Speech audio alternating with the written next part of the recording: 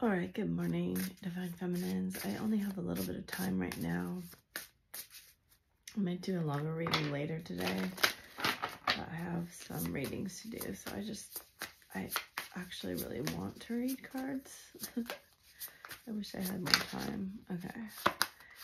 You're the octopus. Oh, he's the unicorn. Lamb. Interesting. Bottom of the deck is bat. I feel like there's a lot of instinctual movement right now. Like, there might not be any actual movement, but your intuition is really leading you. Um, he's really got his eye on you. Like, I haven't seen a card on his side just focused on you in a long time. Again, a lot of intuitive information coming through. Yup, yup, yup.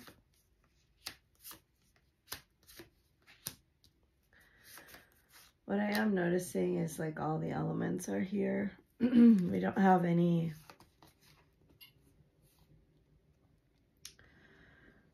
any one thing. What they're immediately saying is that you're somehow worried something can be manipulated against you, used against you. There's something very, I see a lot of guarded energy, but also a lot of psychic energy.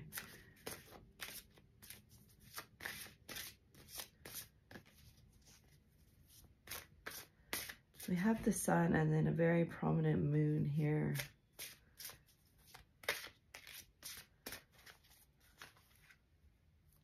Destiny.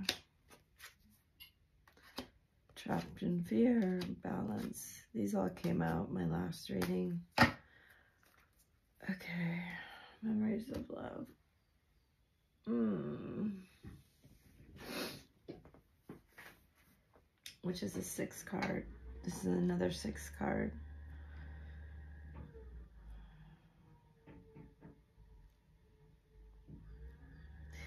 You've been trying to change the way you're thinking and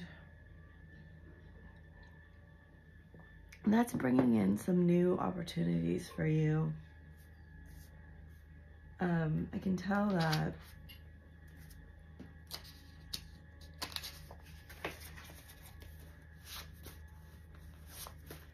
it's like you don't want to put out too much energy. You don't want to put out it's almost like you don't want to put out too much hope.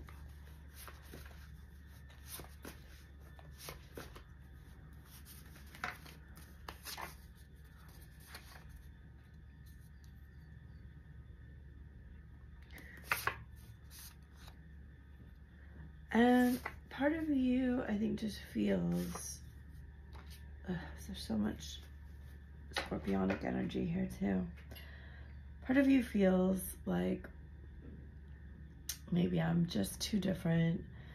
Maybe I'm just too strange, unusual. You know, the octopus energy is a very interesting energy.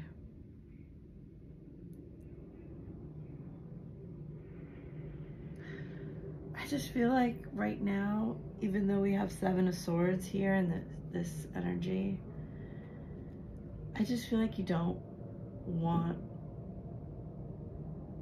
feathers ruffled. Like I see so many birds here again. I feel like you can tell the energy is coming towards you like these rays and it's just like if it's gonna lead diamond light. Why am I thinking that's so interesting? If it's gonna lead to, to chaos, if it's gonna lead to upset, people being upset. Now there's like a ton of noise. When I started, it was quiet. Now I can hear there's a ton of noise all over the place. That's what I mean. I think you're resisting, like, if this is going, silence is easier. If this is gonna lead to chaos and people being upset, you're kind of like, nah. So we have Aquarius, Taurus, Sagittarius, Cancer. Ooh, ooh, ooh, this is getting interesting. Okay, we have law of attraction and law of vibration, diamond light, coins, green flag, Saturn and Libra. Ooh, Sphinx and law of gestation. So, prayer is always heard. There was a period here where you've had to wait. So they're showing me like um, an old dark room where you would develop negatives. And it's funny, this is a very interesting card actually because it's like the Eight of Swords. You know, the Eight of Swords, we're kind of in a prison of our own making with our thoughts. This actually looks like the old negatives too, right? Um, there's something here where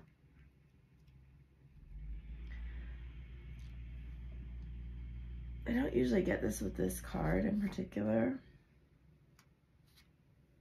I mean, so much air up. I feel like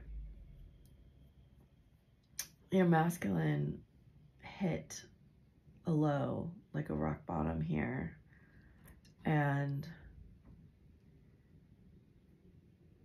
you really felt that in your energy field. And I feel like it's like you want to stop the free fall or you're very fearful that things could get worse. So there's something in you that's just like not feeling in a position of strength, right?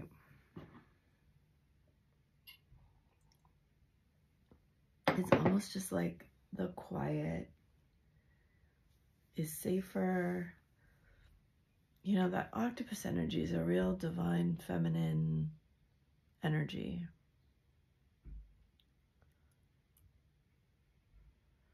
It's really fluid and it's very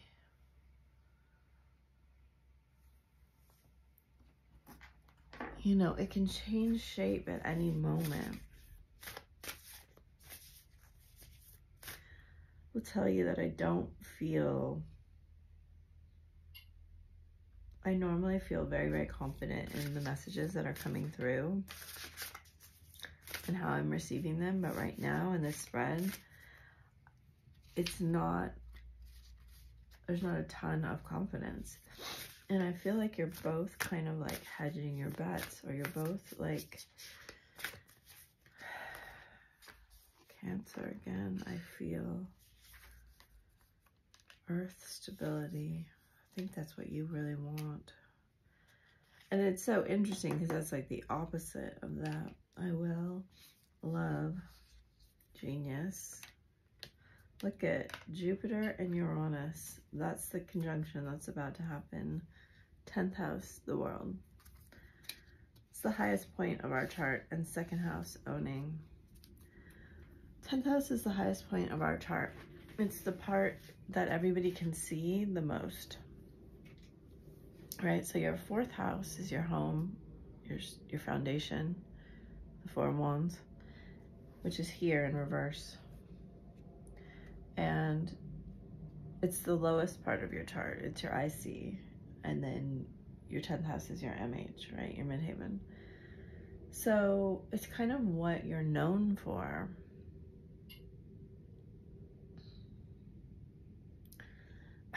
part of me feels like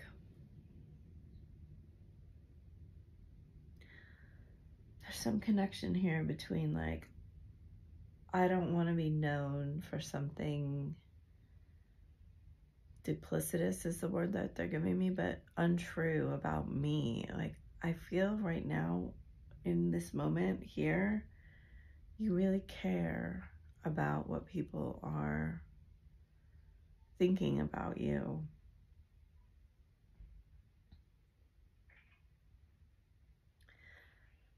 And I get this feeling from the Six of Pentacles and the Seven of Swords that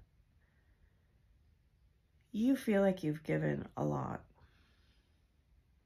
But somehow some of that was really misinterpreted, not appreciated, not seen for what it actually was. It could have been miscommunications, untruths, lies, um, twisting of things, manipulation. I just get the feeling that something could have been taken out of context and that you're working towards something much more stable. It's a very interesting energy. So let's get some messages because I don't have a ton of time. Well, let's see what's going to happen here. It does look like he's returning, but, you know, Six of Swords, the Page of Cups reversed is just not a great energy. Retreat. Do feel that energy? Keep an open mind, chemistry, flirt, safe for you to love. This could be the one. I think he wants like some kind of like a finances and career. I feel like that's what's on your mind a lot. I feel like he's gonna come back in or or send you something. It even could be, oh wow, look at that. Wow, wow. It could be for some of you telepathically because look at these really strong cards. But it also could be, look at, there's the treasure chest again. That's crazy because it's right here too.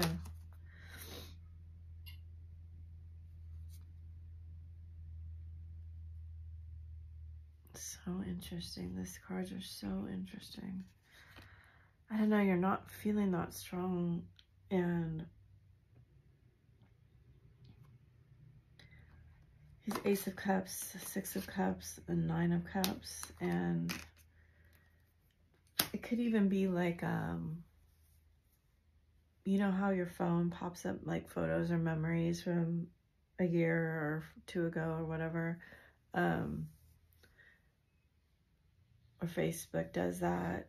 It could be something like that that he sends you just to like test the waters or be like, remember when this happened and to see. Or I was reminded this, like, you know, these are scenarios, but I feel like it's a light. I don't feel like it's very serious, although it is serious he doesn't know what you're going to do with this because he, I guess he sees you as having retreated and yet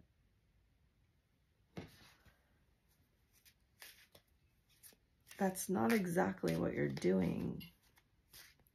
You're just not putting all of your emotions like out for everyone to see because I feel like you've been I don't know, I just get this feeling like you really thought you were doing the best thing, you know, helping, being, and everything was kind of twisted around, manipulated, or you somehow became like seen in a bad light. And that's a problem here. I've cried over you. I see myself having kids with you. I don't really like that card. I let my doubts and fears get the best of me.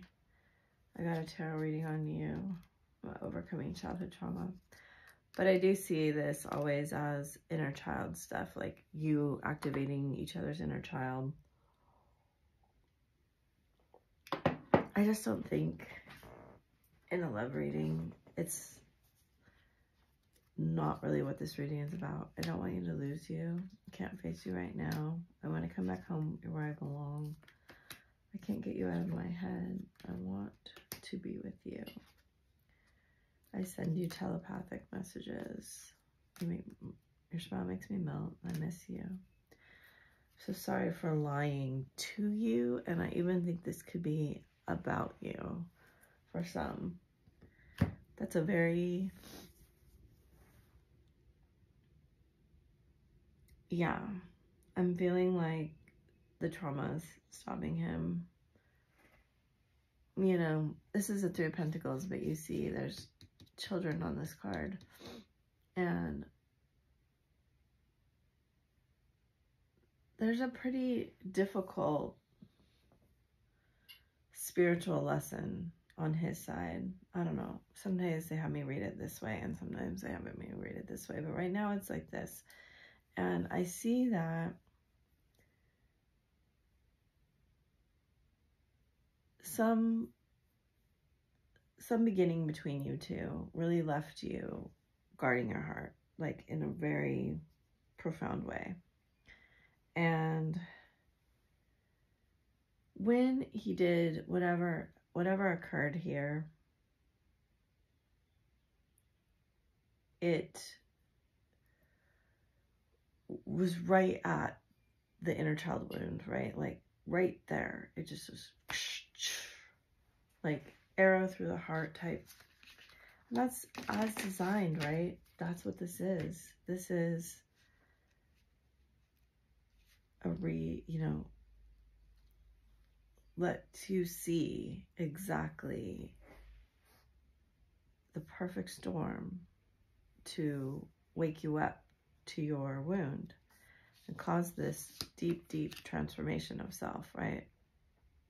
Solar plexus, the sun is the solar plexus, the will.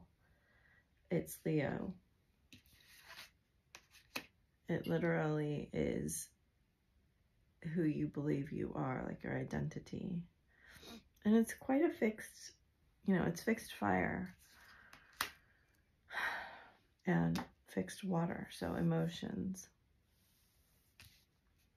And, you know, you have earth here, which is Taurus. And we had that card come out, which is fixed earth. So all you're missing is fixed air, which is Aquarius. And we had that card too. So we have all the fixed elements here I know they're being activated with this conjunction. Um, so you may well be fundamentally reassessing who you are in the mirror of him and in the mirror of the world, right? He's your most direct mirror. Like I see this coming that you want a more accurate depiction of who you are. And that's a really a boundary thing, right? It's like, will you stand up for yourself? Will you fight? Will you confront when things are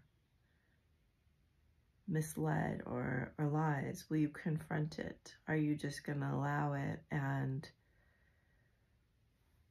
suffer? These are the things coming up in this reading. I know it's it's kind of interesting, but it's like you both have had to fight for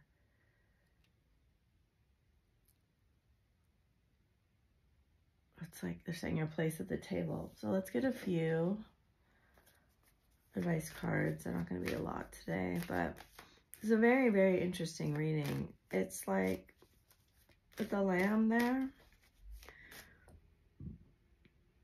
I think he saw a lot of I don't know. I think he's surprised at what happened from this ongoing interaction with you because I think he saw you as a very innocent, kind of easy target and he kind of created a very powerful divine feminine. And same with him in a way. And it's interesting because they're kind of showing me it's like the way that you had to fight was in your masculine. If this is vibing with you, you know what I'm talking about. Like the way you've had to wake up was through your masculine energy. Like, am I going to allow this? And again, this is like open mind and reverse is a really fixed energy. And are you going to retreat? Or are you going to, you know, take your destiny, your place as you want it to be. And with this, you know, this rock bottom that he seems to be dealing with, it is his his feminine in a lot of ways that what he's kind of had to deal with is where does he belong? What is his home? You have protection. He has trust. I see all these ancestors and spiritual awakening. Bottom of the deck is Tanzanite, clarity. So you can really ask these crystals if you want or work with them. Black tourmaline's a great crystal. Very powerful. Especially with that octopus, it feels very powerful. It's, you know, that's deep, deep water energy. And he's in deep spiritual energy. The unicorn's one of the most spiritual cards. So you have Freya. It's not surprising. Oh, it hasn't come out in a long time. Interesting. Master Buddha, increased awareness. So you have phases and cycles. There's a beginning within every ending. Illusions are revealed and released. Perfect. Has Sanat Kumara, light activation, shine your light. Your internal guidance is coming through loud and clear. That's very much like a moon type of card, you know, and then Bridget, inner strength, move back to wholeness, recognize you have the power. That's my divine feminine card. And then Paul the Venetian, experiencing grace, share your gifts with grace. Waves of inspiration are coming to you. We'll get just a couple messages. I'm just going to draw them out of the middle. Power. You instinctively know what's right for you. You have the power to say no and walk away at any time. Give thanks for the blessings of love soon to come your way. Know that you deserve to be and have all that your heart truly desires sexual union. Then we had twin flames on the bottom of the deck, but that was from yesterday. Honor the place of one another where you're one eternal soul, for there you will find true bliss. So I hope these messages have helped you. It seemed very, very specific today. I'm sending you lots of love, and I may do another one today because it was such a, a different message. All right. Lots of love. Oh, I think it was 22, 22 when I looked. So if you want to put 22, 22 in the comment box, I appreciate it. Thanks so much.